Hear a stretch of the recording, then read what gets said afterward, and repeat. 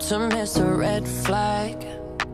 I've been known to put my lover on a pedestal. In the end, those things just don't last. And it's time I take my rose colored glasses off.